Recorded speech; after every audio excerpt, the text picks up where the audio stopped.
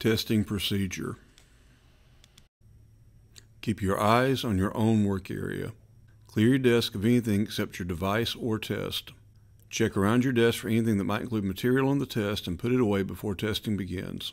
Do not communicate with anyone about anything online or in person except for the teacher in the event of an emergency. If you're having a biological emergency, go to the restroom now, explain later. When you finish the test, close your device, close the browser window, or turn your test face down. Do not access any materials other than the test in any manner. If Quizlet or any help for the test is open, at any time the class is taking a test, cheating will be assumed. Only have one tab or window open, the one for the test. Do not distract others from work on the test through words, sounds, gestures, mouthing words, making faces, desk dancing, or in any other way. Do not communicate about the test with those students before, during, or after the test. If you have a skip, raise your hand after all students have completed the test. If you complete the test early, you may read a paper copy of a book that does not relate to the test or put your head down to rest, but only during testing may you do that.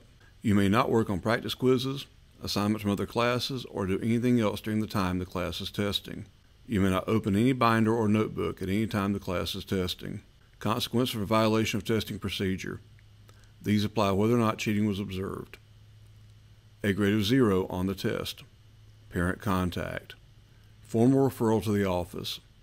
Requirement to take tests during planning for closer monitoring. After school detention. You are bright, capable, and honest. You do not need to cheat to do well. I believe that most students are honest and do not cheat. It is only fair that I make sure everyone understands the rules and the consequences.